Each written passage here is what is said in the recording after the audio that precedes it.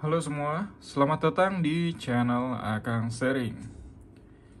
Di depan sini ada handphone Xiaomi Redmi Note 9 Pro. Dan ini adalah Xiaomi Redmi Note 9 Pro yang sudah di custom ROM dengan custom ROM yang bernama Lineage OS. Lalu bagaimana performanya? Yuk langsung saja kita mulai reviewnya.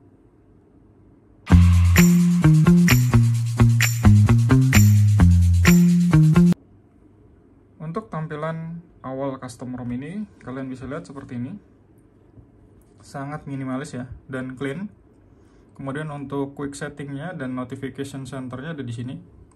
Ini adalah layar notifikasinya jika ada notifikasi yang masuk ke handphone ini.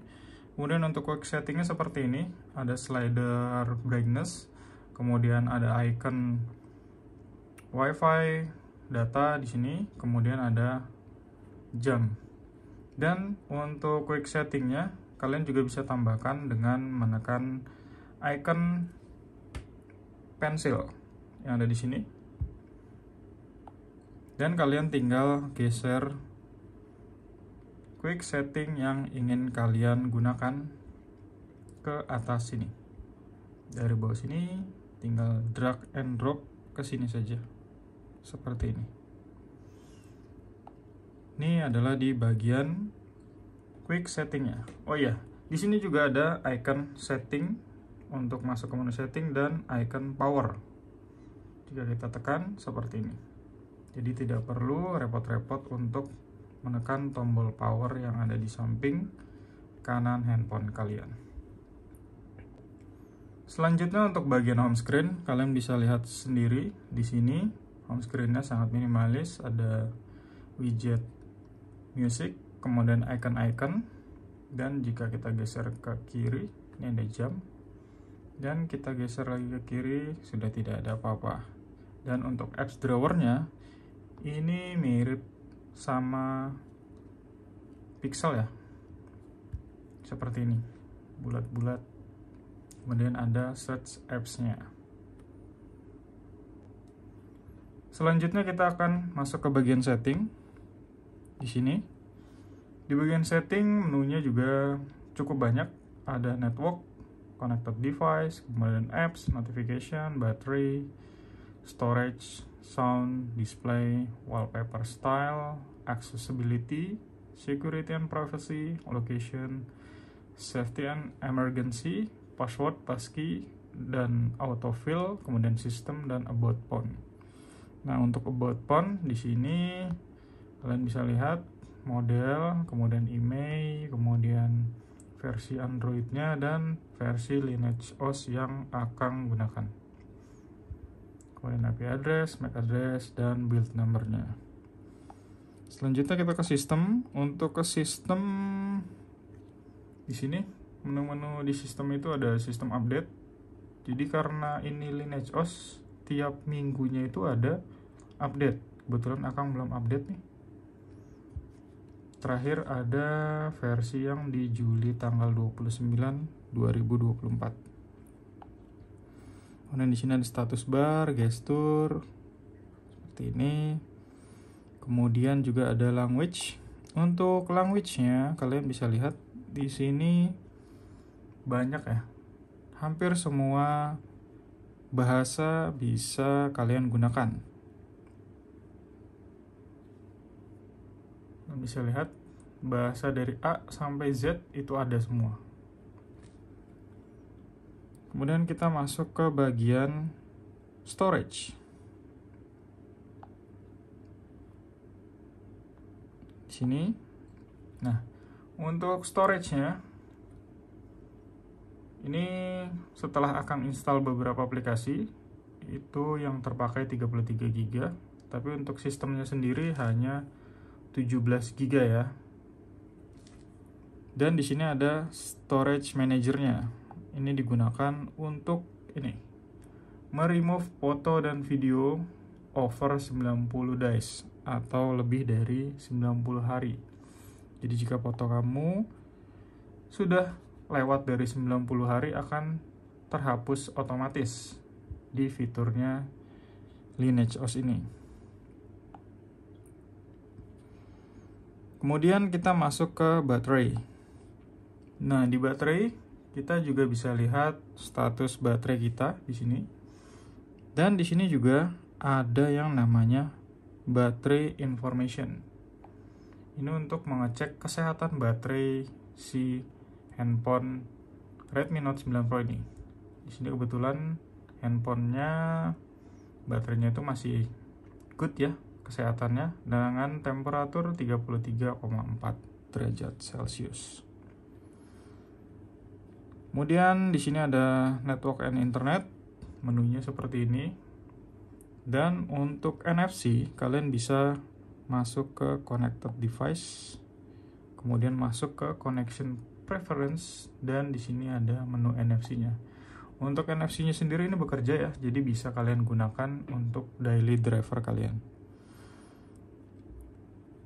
Setelah pemakaian sekitar dua minggu, customer ROM ini sangat irit untuk baterainya.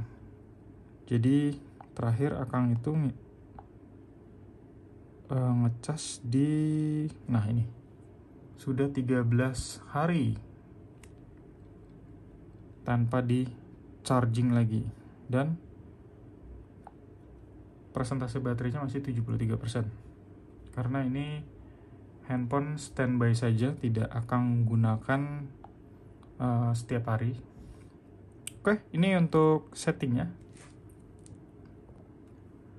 Selanjutnya kita akan masuk ke performanya. Kita bisa pakai Antutu. Nah teman-teman bisa lihat performasi custom ROM ini yaitu 359.344 ya hampir-hampir sama dengan custom ROM lainnya ya. Karena rata-rata memang di hardware-nya si Redmi Note 9 Pro ini sudah mentok di angka segini. Jadi tidak bisa lebih dari nilai 350 ribuan. Tapi secara gaming ya lumayan lah untuk main game Mobile Legend, PUBG, dan teman-temannya. Kemudian untuk charging test, kita akan coba charging test. Di sini untuk charging testnya, peak powernya itu sekitar 23 watt. Jadi dari charger 33 watt untuk customer ROM ini bisa menerima sampai 23 watt ya. Jadi cukup fast charging untuk si custom ROM ini. Selanjutnya kita masuk ke aplikasi yang sudah terinstall di custom ROM ini. Yang pertama adalah ini, Audio FX.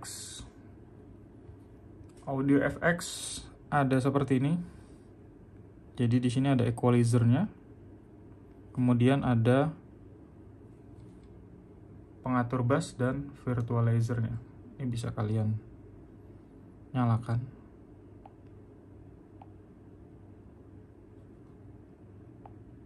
Nyalakan seperti ini kemudian oh sorry. Efek efek not available for speaker. Jadi jika kalian ingin menaikkan bass dan virtualizernya harus menggunakan headset.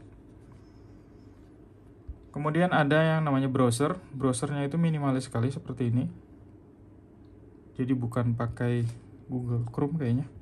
Kita cek terlebih dahulu setting Hmm, yes, dia bukan pakai Google Chrome.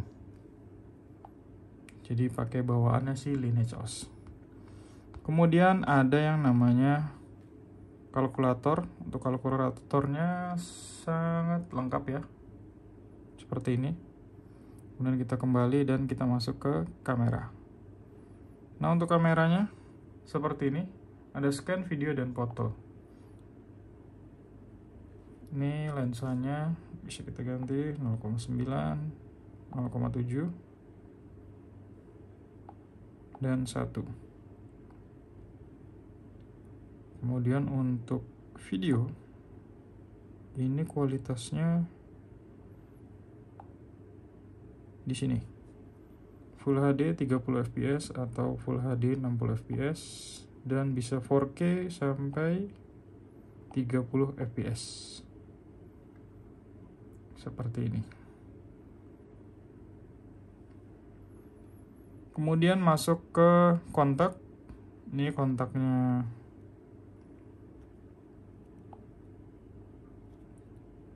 Kontaknya si Google ya.